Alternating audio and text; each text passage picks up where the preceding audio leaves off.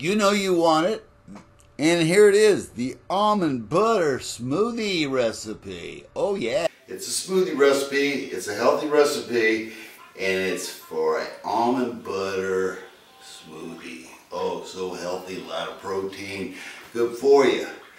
I'm doing this for my friend Alex, who is wicked smart, owns a company called Meal Dealers. They service fresh food that's incredible, and he just recently opened up a smoothie bar and a gym in Chantilly, Virginia called Fitness Equation. So we're gonna walk up out of here and go to the gym and get this thing rolling.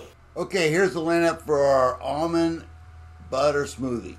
Protein powder, chocolate flavored. Oh yeah. Then we're gonna use the all so healthy almond milk that's gonna go into our smoothie, along with oh almond butter. Yes. Ah, this is gonna give it some taste.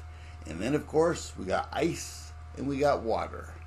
And that will be put into the blender first. Then we're gonna add some organic flaxseed for health, of course.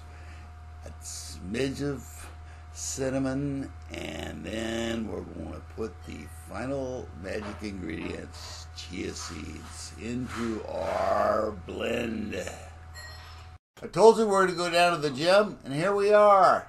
We're putting in water, cup of almond milk. Oh yeah, baby. We got that. We got the ice. Yeah.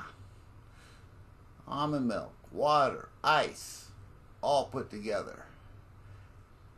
That's going to give us the liquid. And then, of course, we're going to go to the protein powder, chocolate flavored.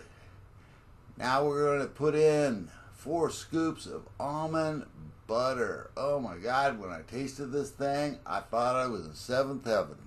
This thing was so tasty, but it was actually healthy and it was a meal in itself. It's like maybe six ounces of chicken and a half a cup of rice. It's a meal. Drink one of these 16 ounce babies and you'll be full. Now, a little bit of cinnamon, just a smidgen. Top that thing off, give it a little bit extra flavor. Then, of course, we're going to add a very healthy ingredient here, which, of course, is an eighth of a cup of flaxseed. And then just a little teaspoon of chia seed, and we're making magic. 60 seconds, blending this up to a nice smooth mixture. It's a meal in itself. Oh my God, so tasty. Do this at home, folks. You'll love it. Thanks for watching. I really appreciate it. Take care now. Thanks, folks.